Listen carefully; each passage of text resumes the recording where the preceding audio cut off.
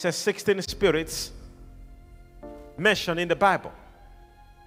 Say louder 16 spirits mentioned in the Bible. Are you here? Now, I'm not saying it's a teaching of 15 or 12. No. In the Bible, they are 16. They are not 17. They are not 10. They are 16 spirits mentioned in the Bible. There are so many demons. We don't want to talk about. There are so many demons. We're not talking about demons. We are talking about spirits. So demons originate from these spirits. These spirits, therefore, they are principalities. Now, if you do not understand how they operate, you may be in church having a spirit influencing you without even you knowing. We mentioned about the first spirit, which is the spirit of what? Divination. A divination spirit, we looked upon it, and I shared with you how it operates. I also spoke to you about the spirit of what? Familiar spirits. And I told you, familiar spirits are spirits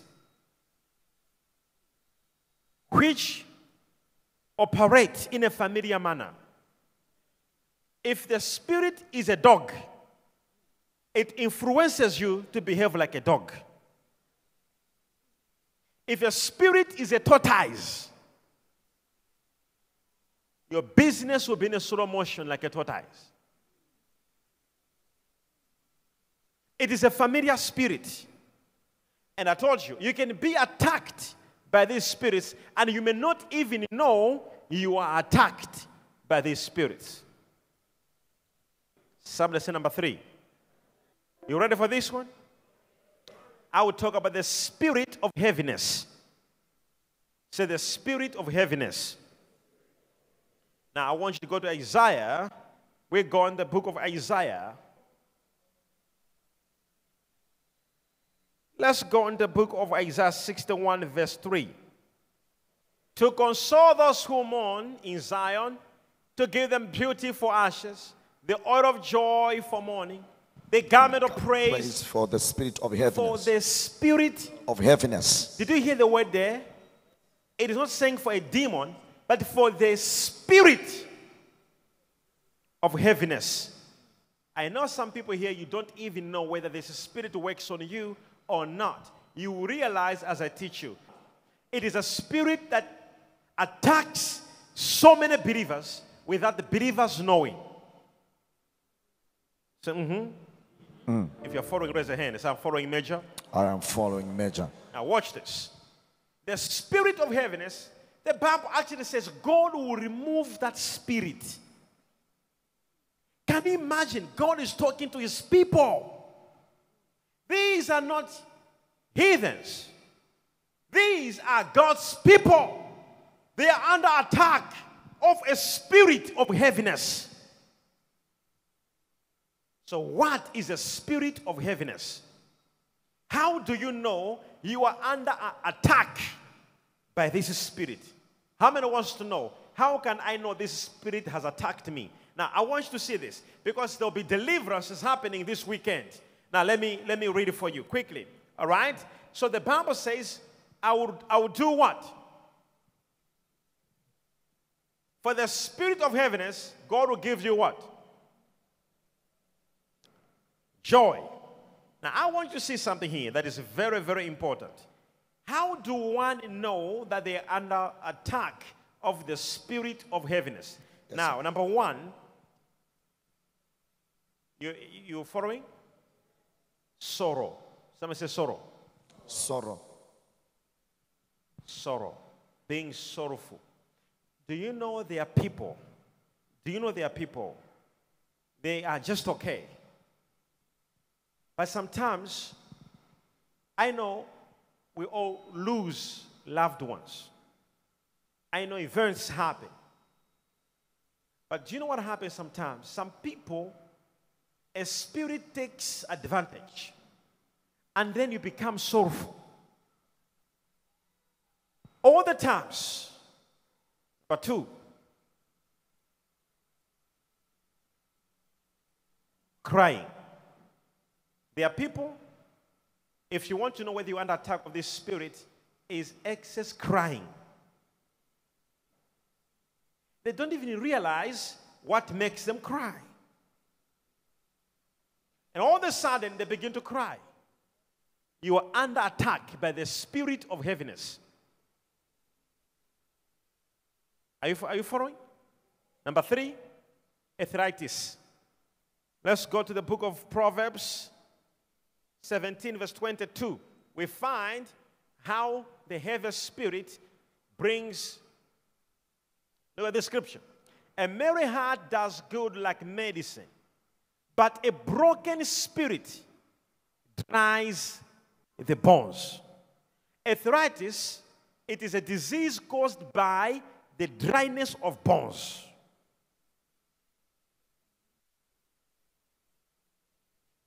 Every person on their joints, they have a fluid, synovial fluid, which the moment it dries, bones begin to crack, and it is called arthritis. And the Bible says a broken spirit causes what? The bones. Hear me. Hear me. I'm not saying all arthritis. Remember, we have got most problems both in the natural and in the spiritual.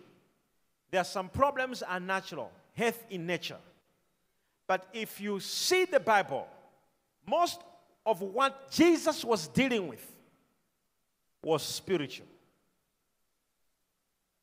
The enemy will bring the heaviness over your life. And he knows it is not just heaviness he's bringing, but he's bringing a spirit of arthritis. Somebody say out. Come on, somebody speak louder. Say, come out. So you may not realize your child will begin to mess up in the house. And all of a sudden, the father or the mother begin to think so much about their child. And in the thinking, the enemy brings the spirit of heaviness or a broken spirit. And before you know it, other problems are developing. You have arthritis. Say, I rebuke you, arthritis. now, but I want you to say this. So the devil knows you will not notice it. You won't notice it. So we have people right now who the spirit of brokenness or, uh, or heaviness has attacked them and they're not aware. Now let's go ahead. How do you also know you have the spirit? You are under attack by a spirit of heaviness. I told you, right? rejection. Rejection. Rejection. The moment you begin to feel rejected, the spirit of heaviness is on you. Don't worry, we'll look on scriptures very soon. We'll look on a lot of scriptures. Rejection. All of a sudden, you begin to feel unloved, unwanted, rejected, just know that you are under attack of the spirit of heaviness. Raise up a hand. I say, I rebuke you. All of a sudden, you begin to feel rejection. I told you before, some of us, we don't consider rejection as a big matter. We don't take rejection seriously and go in a room and begin to say, Why are they rejecting me? Why are they saying this? No. Rejection is God's protection.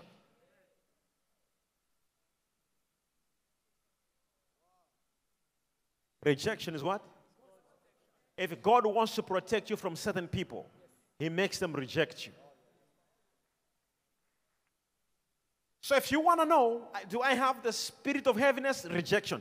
Rejection, you begin to feel rejected and wanted and appreciated and loved. It happens sometimes. But the moment it becomes something that you feel all the times, you feel, oh, this, it can't happen everyone to hate you. It can't happen. It is a spirit of heaviness. It wants you to be feeling heavy. And many believers are in church, they are feeling rejection. and they are praying, they're speaking tongues, and they feel rejection, and they don't know that's how the devil penetrates to strong believers. He makes them feel rejected, and they don't know it is a spirit. Somebody shout, I'm accepted.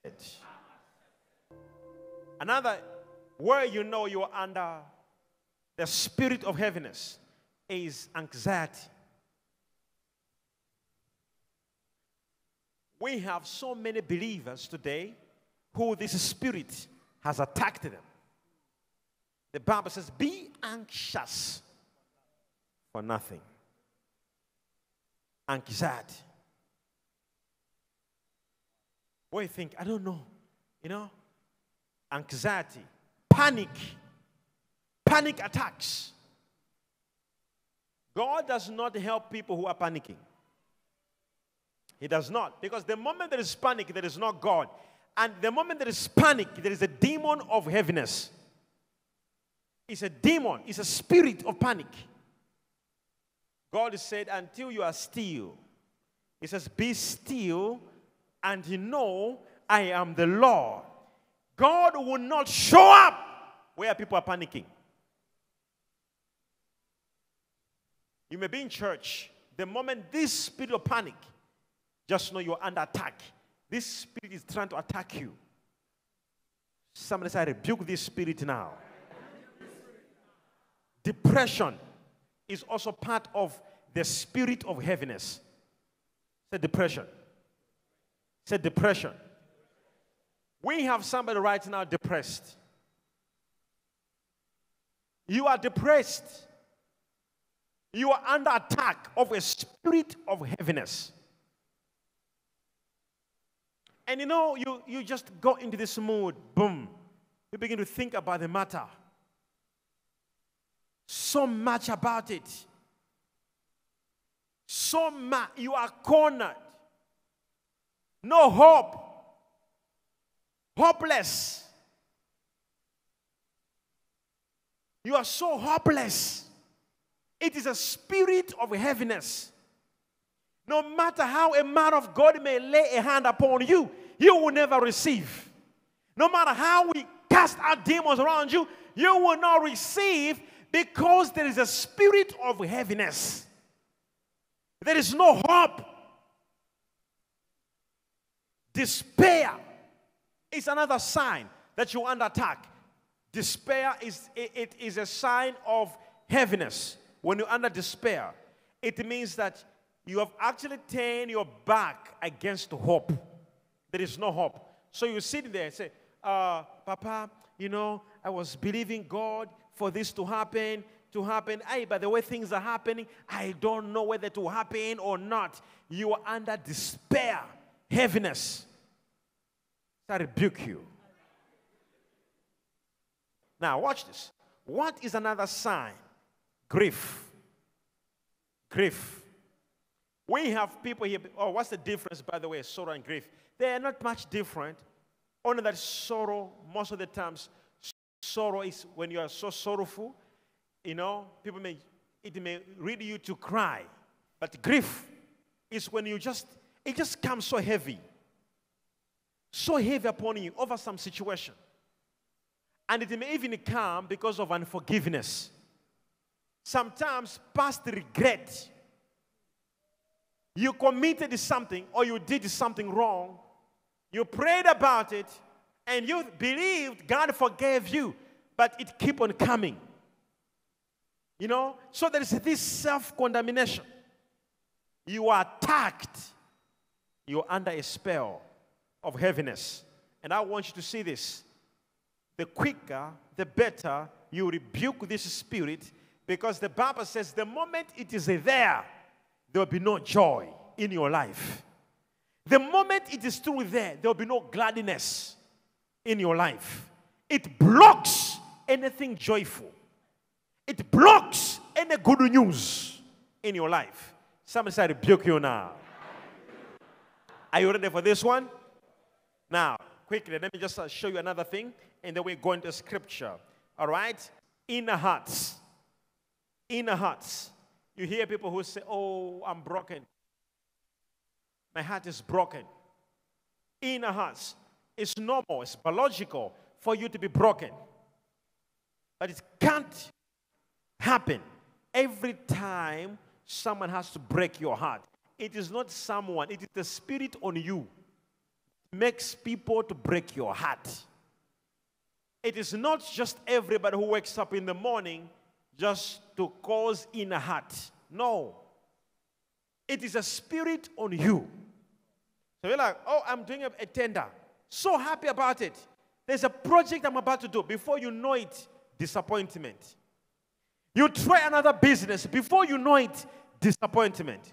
You try another thing. Before you know it, heartbroken. It is not the businesses that you are doing that are a problem. It is you. There is a spirit of happiness to cause inner hearts, to cause brokenness. It is a demon, it is a spirit on you. All the times you must be broken, you must be disappointed. It is a spirit. Somebody say, I rebuke you. Can you add, can you speak, can you speak with an attitude? Don't talk like the devil is your neighbor and your friend. Say, I rebuke you. So you wonder, do, do I have somebody here who says, Prophet, you know what? Anything I try to do, I end up being disappointed in the end. Can I? Do you have anybody here who says, I've tried so many things, but there are so many disappointments I get? It is not you trying to do it, it is a system. There is a spirit that you must rebuke. Why you? Why Chinese when they try to do anything successful? Why Indians when they try to do anything successful?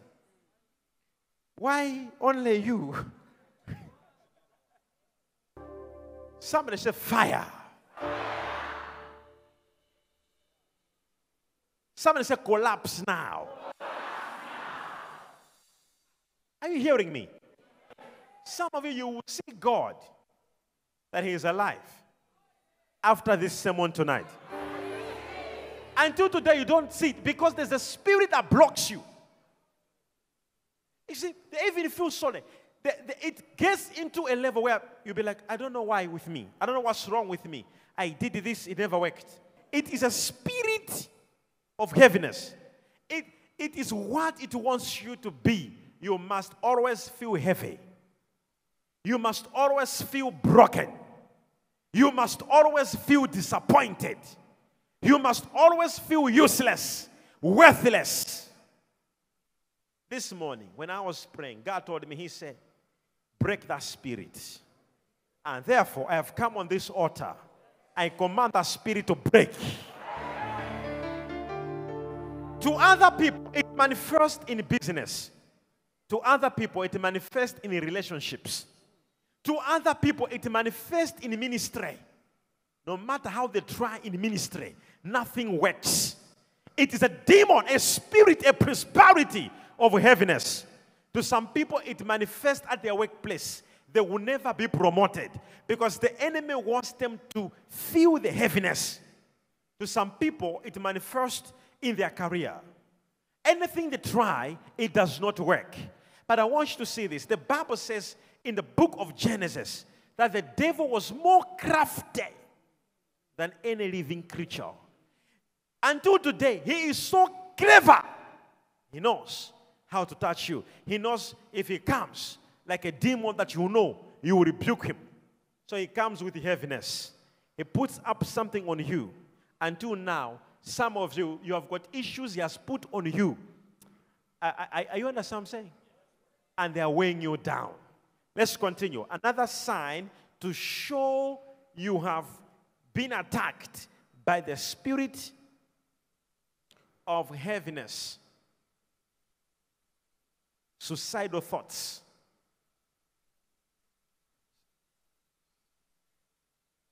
Do you have anybody here who ever thought, I think there was a time, whether you were young or just some thoughts just came in your mind. Like, I think I once thought to die.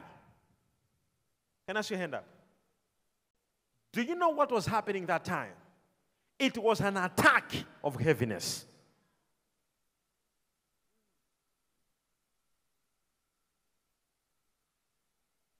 suicidal thoughts. Suicidal thoughts. Another sign to show you're under the spirit of heaviness regrets. Until today, you are regretting.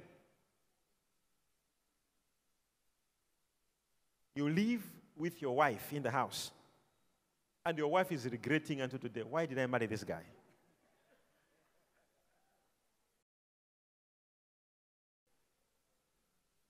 Say heaviness. Say out.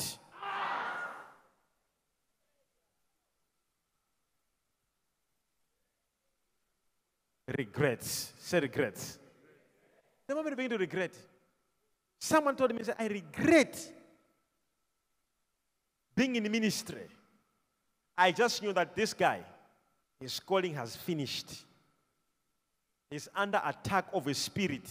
And the spirit that is attacking this man, it is a prosperity of heaviness.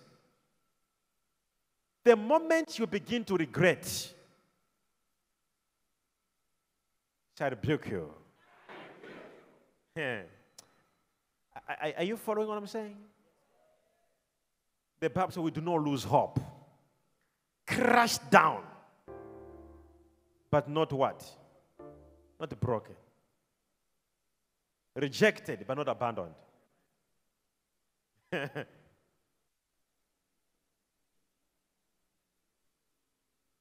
the spirit of heaviness. What else? The moment you see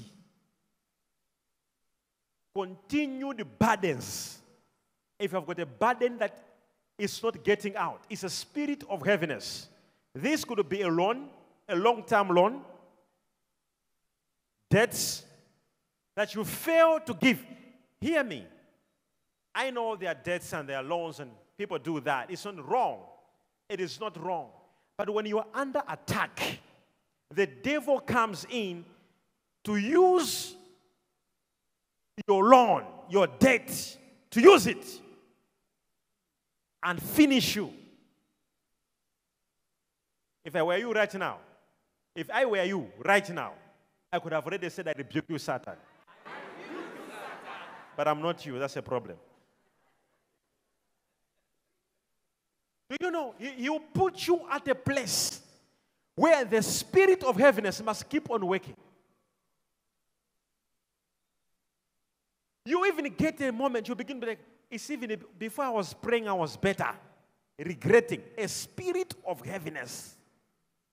There are people who are regretting. Right now. So I rebuke you, Satan. Let me just finish. Are you ready? Lack of sleep. There are people who have a problem of not sleeping as a biological disorder.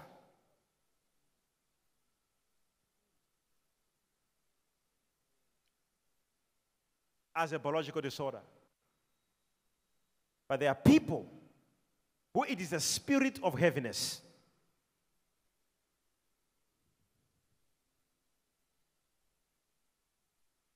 Did you hear me? Sometimes it, going to be God trying to speak to you. You need to fight that spirit until it goes. Lack of sleep. Are you hearing me? I'm telling you now. I want you, what I'm speaking here, I want you to, to, to put some checks in your family. It could be you or not you, but I want you to do this. I want you to put some checks. Put some checks. Tonight we need to command the spirit to leave. It is mentioned in the Bible. Now let's go again on scriptures. Quickly, let me read the following scriptures for you. All right? Let's go to the book of uh, Proverbs 15, verse 13. And after that, we're going to go to Nehemiah 2, verse 2. All right? Again, in the Proverbs. A merry heart makes a cheerful countenance, but by sorrow of the heart, The spirit is broken. Nehemiah. Therefore, the king said to me, Why is your face sad since you are not sick? This is nothing but sorrow of heart. So I became dreadfully afraid. Let's go to the book of Psalms 69, verse 20. Reproach has broken my heart. And I'm fully, I'm, and I'm full of heaviness. Oh. I looked for someone to take pity, but there was none. And for comforters, but I found none. The moment you begin to make these statements, I have no one to talk to. I feel like this. I feel like that. You are under attack. You must be very careful. Raise up your hands. In the name of Jesus. I rebuke this spirit from my family. Say in the name of Jesus. What makes me to be frustrated so I can be disappointed all the times? I rebuke it